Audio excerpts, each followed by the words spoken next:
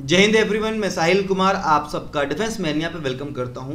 सो so, आज की इस वीडियो में हम जानेंगे कुछ आपके एफ़ कैट क्वेश्चन के बारे में जो कि आपके एफ़ कैट किसमें आए थे? वन 2021 में ठीक है? और उन क्वेश्चन के बैकग्राउंड के कुछ क्वेश्चन जाकि आपके अगर अगले पेपर में कुछ क्वेश्चन आते हैं तो आपके मिल जाए। मतलब कि एक क्वेश्चन के अंदर हम कम से कम पाँच से छह क्वेश्चन को सीखेंगे और उसके बैकग्राउंड को भी जानेंगे। और ये क्वेश्चन हंड्रेड परसेंट रिपीट होते हैं। आई कैन अश्योर यू कि अगर आप इस एफ़ के जीके की कंप्लीट सीरीज़ को फॉलो करते हो तो आपके ten to fifteen marks definitely आएँगे। पार्ट वन जिन्होंने नहीं देखा है प्लीज़ पार्ट टू से पहले पार्ट वन भी देख लेना। पार्ट टू के बाद भी देख लेना। ताकि आपका रिवीजन बना रहे।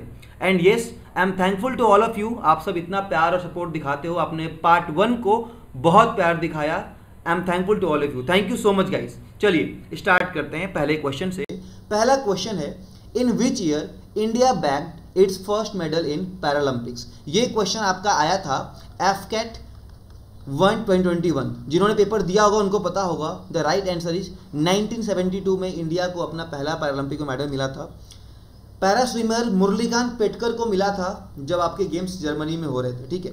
अब आपको मैं ध्यान दूँ, एफकेट जो है, कुछ क्वेश्चन पुटअप कर सकता है कि जो इंडिया को पहला पैरालंपिक में मेडल मिला, वो कितने मतलब वो क्या था, वो किस टाइप का स्विमिंग था? तो आप बोलोगे 50 मीटर फ्री स्टाइल का। कभी कभी टूर्नामेंट का नेचर भी आपके पूछ लेता है। सेकेंड थिंग ये जो पैरालंपिक गेम्स है, जब गेम्स की बात हुई है तो आप एक चार्ट बना लोगे, जहाँ पे आप डिस्कस करोगे कि पैरालंपिक लास्ट वाला कब हुआ था नेक्स्ट कब होने वाला है, हमारे कौन से विनर थे और किन लोगों को मेडल नहीं मिले थे? तो इन बातों का आप ध्यान रखोगे।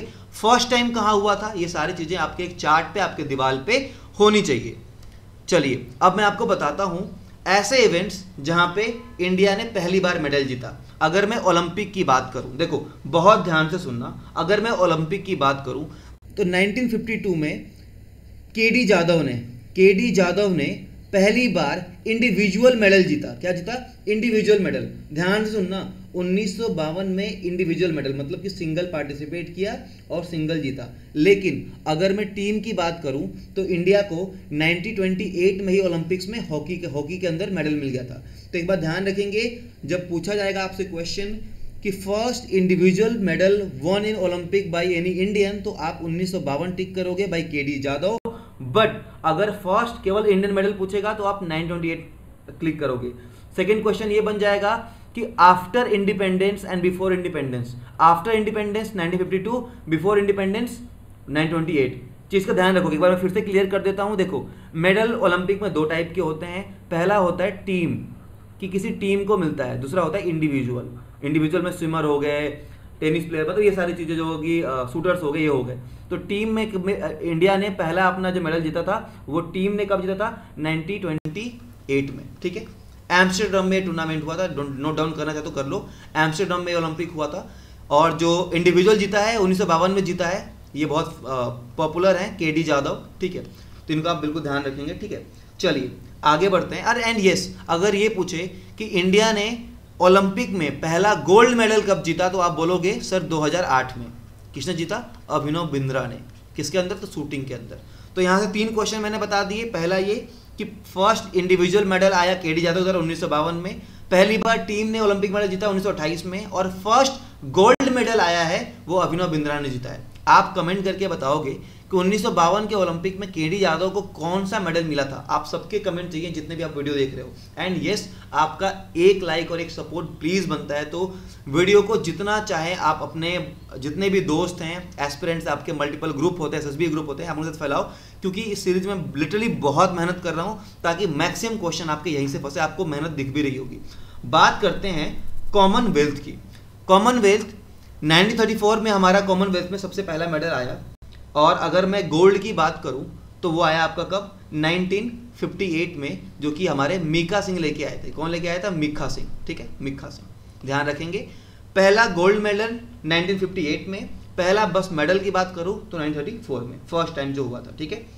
चलिए, आगे बढ़ के आगे बात करते हैं। ICC World Cup ICC World Cup में इंडिया को सबसे पहले कब जीत मिली? तो उन्नीस सौ तिरासी में किसके खिलाफ? तो वेस्ट इंडीज के खिलाफ। ध्यान रखेंगे। एशियन गेम्स में पहला मेडल मिला है हमें उन्नीस सौ इक्यावन में एंड हॉकी वर्ल्ड कप में पहला मेडल मिला है उन्नीस में। इसके अलावा अगर ये इंपॉर्टेंट मैंने आपको टूर्नामेंट नोट डाउन कराए हैं, इसके अलावा जो भी होंगे, आप उनको रिसर्च करोगे। ये मैंने बहुत रिसर्च करके निकाला विकीपीडिया पढ़ पढ़ के तो आप रिसर्च करोगे, अपने नोट्स बनाओगे, ठीक है? चलिए, अगले क्वेश्चन पे आते हैं। अगला क्वेश्चन बहुत फ़ेमस था, ये भी आपके कौन से पेपर में आया था तो ये आपके आया था। AFCAT one, twenty twenty one. अच्छा एक मुझे बात बताओ, ये जो तरीका मैं आपको पढ़ा रहा हूँ, क्या ये वाकई आपको पसंद आ रहा है कि इस टाइप के क्वेश्चन आपको फ़ायदा मिल रहा है? पर्पस ये है कि जो हम पाँच से क्वेश्चन लेके आ रहे हैं, उसके बैकग्राउंड को पढ़ते पढ़ते तीस से चालीस क्वेश्चन हो जा रहे हैं। सो मेक श्योर कि भाई ये चीज़ें आपको समझ में आए। एंड अगर आपको अच्छी लगती हैं तो प्लीज़ फीडबैक करना कमेंट में। हमें भी बहुत मोटिवेशन मिलती है आपके लिए और अच्छा कंटेंट लेके आने की राइट इसके अलावा हम आपके लिए क्या कर सकते हैं? यू आर मोस्ट वेलकम आप प्लीज़ बताओ कमेंट सेक्शन में अपना फीडबैक दो अच्छा बुरा जो भी है। हम उसको देखेंगे। केमिकल फॉर्मूला पूछा है स्कॉर्बिक एसिड का और वो होता है C six H eight O six अब जब केमिकल फॉर्मूला की बात हो गई है तो हमारा धर्म सॉरी हमारा फ़र्ज़ है कि हम बाकी जो फ़ेमस कंपाउंड्स हैं, अब देखो, पूरे कंपाउंड को नहीं रट पाएँगे बट जो फ़ेमस कंपाउंड्स हैं, उनके केमिकल नेम को थोड़ा रट लें। मैं जिनको जिनको टिक करूँगा, उनको आपको बिल्कुल ध्यान रखना है। ये आप इंपॉर्टेंट मार्क कर लोगे, ठीक है? नोट कर दो नोट कर लो। बेकिंग सोडा इसको सोडियम हाइड्रोजन कार्बोनेट या सोडियम बाइकार्बोनेट बोलते हैं, केमिकल नेम पूछ सकता है। N A H C O three होता है, इसको आप सुपर इंपॉर्टेंट नोटिस करोगे एस आई पी लिख दो सुपर इंपॉर्टेंट ठीक है? उसके बाद आएँगे मार्बल पे।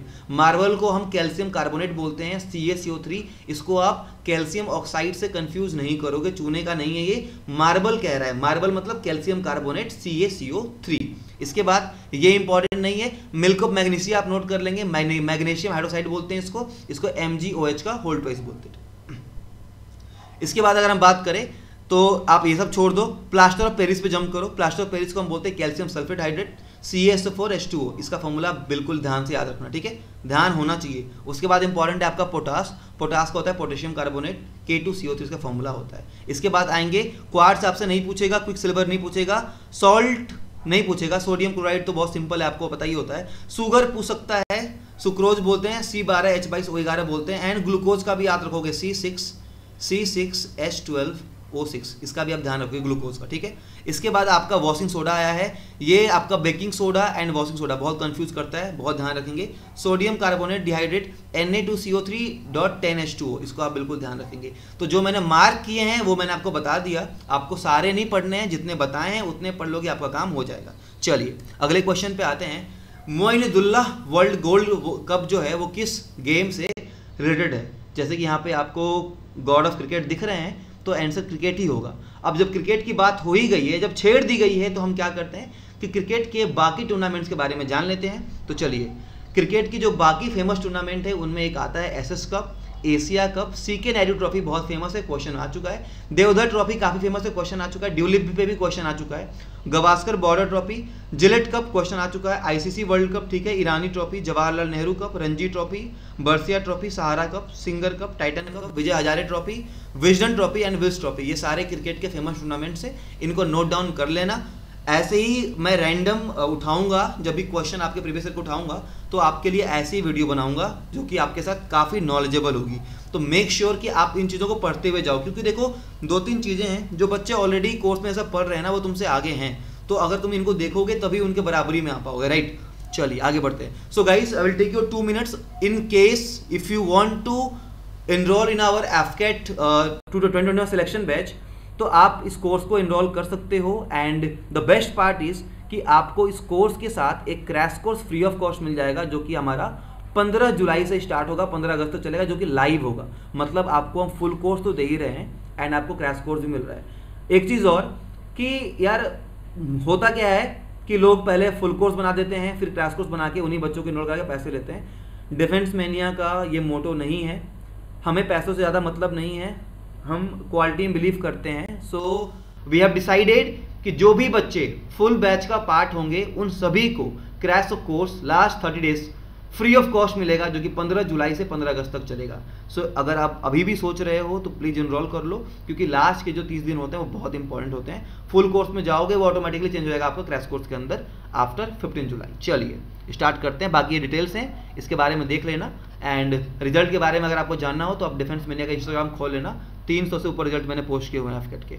अगला क्वेश्चन है the Moti Masjid was build by which ruler तो ये शाहजहां ने बिल्ड किया था। लास्ट स्लाइड में मतलब इसके लास्ट पार्ट वन में मैंने इन सब के शाहजहां के अकबर का जहांगीर का हुमायूं का बाबर का सबका मैंने रियल नेम बताया था। आप मुझे बताना कि क्या आपको ये रियल नेम आज याद थे?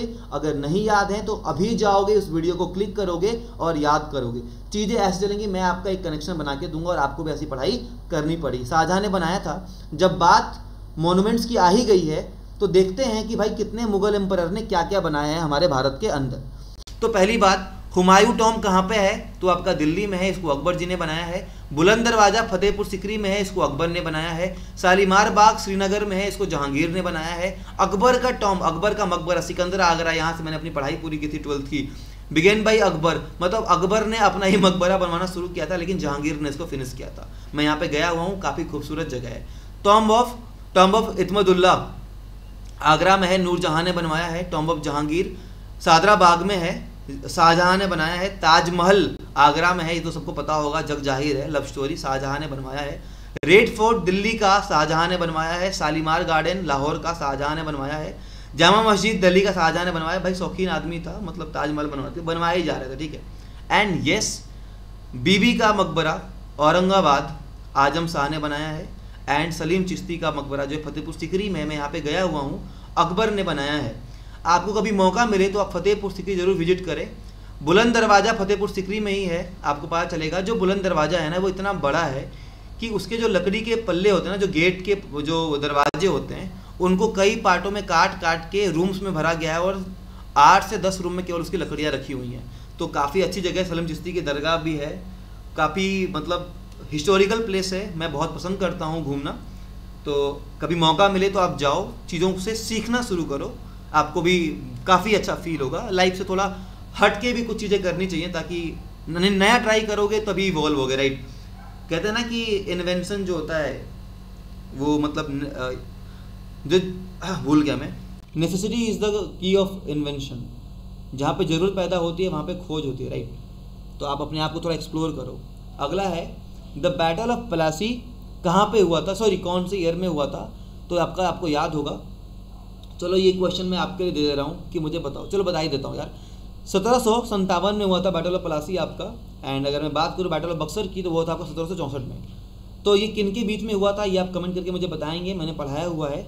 अब जब वॉर की, जब ये फाइट की बात हो रही है तो देख लेते हैं कि जो फ़ेमस हमारे बैटल्स हैं, वो कौन कौन से ईयर में हुए हैं? एफ़ कैट एक क्वेश्चन अक्सर यहाँ से पूछ लेता है। सो बैटल ऑफ़ पलासी सत्रह में हो गया। बैटल ऑफ़ हल्दी घाटी पंद्रह में हुआ था। बैटल ऑफ़ वांडी हुआ सत्रह सौ साठ में हुआ था। बैटल ऑफ़ बक्सर सॉरी सत्रह में हुआ था एंड बैटल ऑफ़ समूगढ़ ये आपका सोलह में हुआ था। इनको आप ध्यान रख लोगे, ठीक है? So thank you for watching guys I hope आपको ये lecture power packed concised and पसंद आया होगा। एंड अगर दिल से अच्छा लगा है तो प्लीज़ अपने अपने स्टेटस में ग्रुप में शेयर करना विथ योर फीडबैक ताकि और भी लोग इसको देखें। Thank you so much expect करता हूँ कि पहले वीडियो को आपने इतना प्यार दिया। सेकेंड वीडियो को भी आप उससे कहीं ज़्यादा प्यार देंगे। जल्दी मिलते हैं आपसे पार्ट थर्ड में। Thank you so much and जय हिंद